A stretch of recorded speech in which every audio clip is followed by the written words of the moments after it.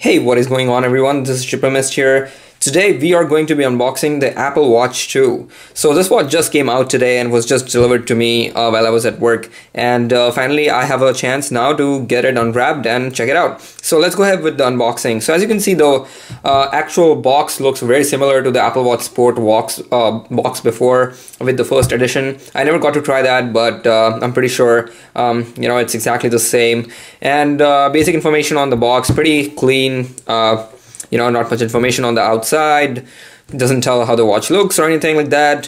So let's go ahead and uh, check it out from the inside. So let me go ahead and cut this up here. All right.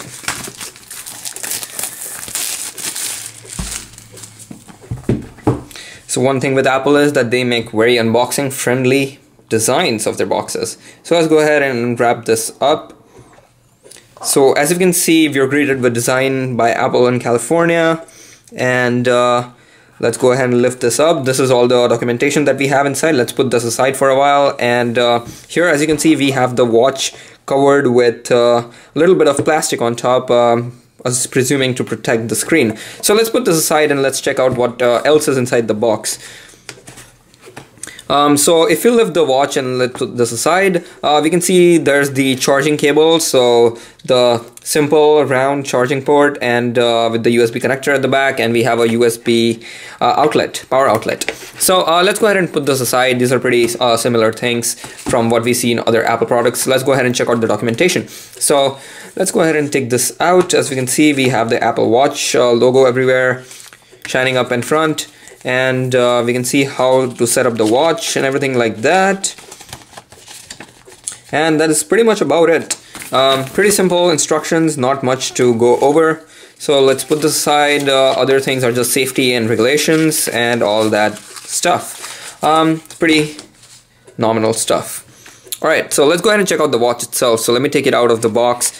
And uh, so uh, as right out of the box, I can feel this watch is not that heavier compared to what I was imagining it would be. Um, and uh, here we have the all the sensors at the back. Let's go ahead and take this out. So let's go ahead and take this out first. And this comes out right away. So um, here uh, we have the watch itself. Uh, the watch looks pretty nice. Uh, it has a pretty decent screen. Uh, would fit me perfectly on my wrist. I didn't. I get the I got the 38mm watch instead of the 42. I feel like that fit uh, fits my hand perfectly, but I'm pretty sure most of you guys will prefer 42 instead of a 38 since the screen is a little smaller. Uh, apart from that, uh, the watch has all the sensors that it already had at the back, and this is the speaker assembly. Um, this is the assembly that the Apple really showed off in their conference, uh, saying that, hey, push it out water and everything. So I'm going to test it out. I'm going to make a video probably about it. So stay tuned on the channel if you want to take a look at that. And uh, that was pretty much it. So thanks for watching guys. This has been the unboxing for the Apple Watch 2. If you like this video, go ahead and subscribe to the channel and stay tuned for more Apple Watch videos uh, that are going to be coming up soon. And uh, I'll see you guys in the next one. Peace.